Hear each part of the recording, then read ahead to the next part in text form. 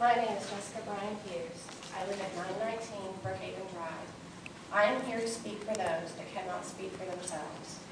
As a child, every other Sunday, my mother got up early, drove down to the old concrete block shelter, and cared for the animals, as there was no one to do it other than other volunteers, and the shelter was closed. Sometimes, when she had no one to go with her, she volunteered me.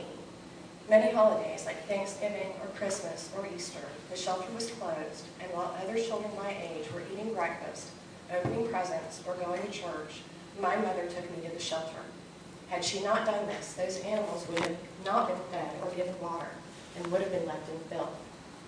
In time, the Humane Society raised funds and built a room onto the county's building so that the shelter would accept cats. I cleaned and fed the cats. My mother cleaned and fed the dogs.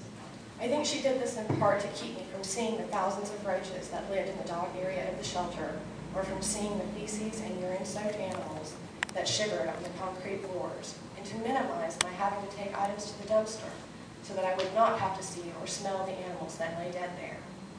I saw all of those things, and I can still see the doors to the gas chamber, where cats and dogs were jammed in together for one last moment of panic before being gassed to death en masse.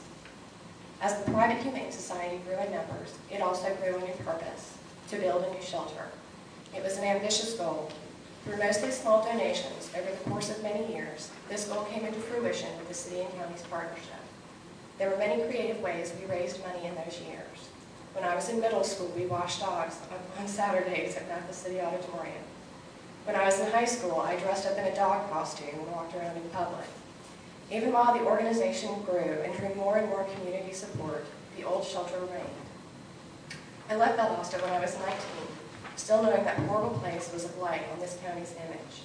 With employees so cruel that when a good friend took a stray dog there and witnessed how the shelter employee, treat, employee treated the animals already there, she brought the dog home and named her Georgie after the shelter employee so that she would never forget what she had seen.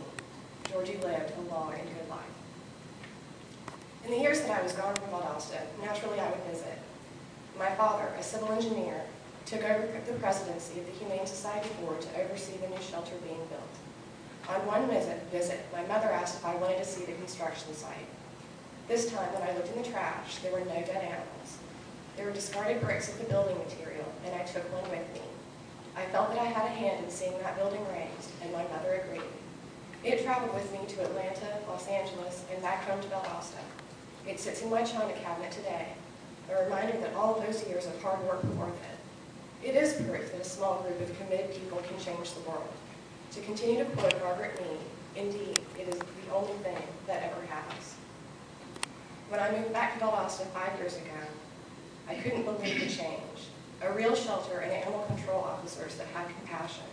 I personally know some current and former animal control officers. They are caring, compassionate people with a deep love of their jobs.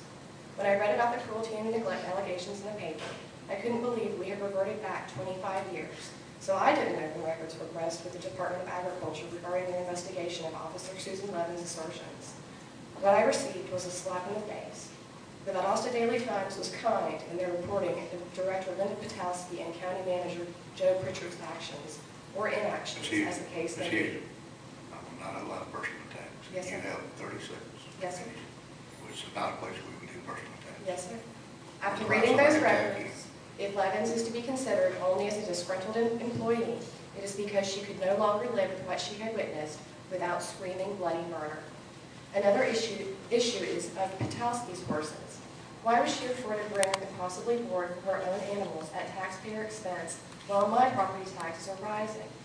Someone in that position should not take advantage of public funds. And what was the fate of all of those cash only donations given to the shelter? Are those funds used, to quote Mr. Pritchard, to find the balance between common sense, humane treatment, and financial responsibility?